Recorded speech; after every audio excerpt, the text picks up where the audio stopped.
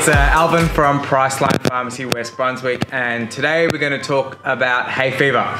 So, as I film this video, hay fever has hit us with a vengeance, and we're kind of in this unique position, unfortunately, where we've got the flu still rampant, and now we've got hay fever added on top onto our health woes. So, um, but the good thing is we don't need to suffer from our hay fever. There are so many treatment options that our pharmacist can go th through with you. And uh, of course, treatment options are based on the medication that you're taking, any other medical conditions that you might have, your specific symptoms. There's a whole host of ways that we can go about treating it. What I'm going to go through is just the basic overview. But I really encourage you to come in and speak to one of our pharmacists and we can tailor the treatment for you. So the first thing that we that we do is put you on some antihistamine tablets. Uh, there's a quite an array of antihistamine tablets and our pharmacist will determine the right ones for you. Quite often, a lot of people find that they need to cycle through their antihistamine tablets. So we can set up a treatment plan for you on how to do that.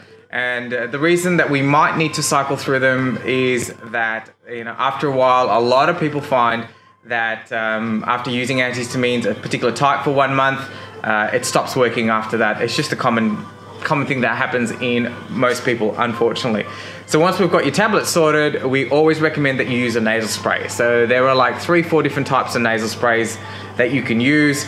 Um, there are corticosteroids type nasal sprays, there are antihistamine nasal sprays, there were saline nasal sprays. Quite often we usually start with a steroid based nasal spray and this may have some negative connotations but if you speak to our pharmacist we can put through, you know, um, end those negative connotations that you may have. Um, all of these nasal sprays have particular side effects that uh, that might stop uh, us from recommending it to you. So please come in and speak to us. Generally what we like to do is use a, a, saline nasal spray first to help clear off any excess pollen that may be in your nasal passages. It's also really good at rehydrating your nasal passages and then we like to use a steroid uh, nasal spray on top of that and that just allows um, the, the, spray to work much much better. Um, and then of course during the day if you've got breakthrough really congestion and runny nose um, uh, we can add like an antihistamine nasal spray on top and sometimes a traditional standard nasal decongestant. Um, so we've got tablets, nasal sprays. The other thing that's pretty bad also is can be your eyes. You can get uh, some allergic conjunctivitis. There's a whole array of eye drops we can use. Um, so come and speak to us and we can give you the right one uh, to use.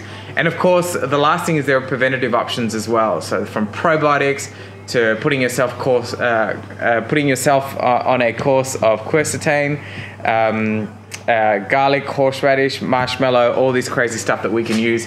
But come in and speak to us and we can determine the right one for you.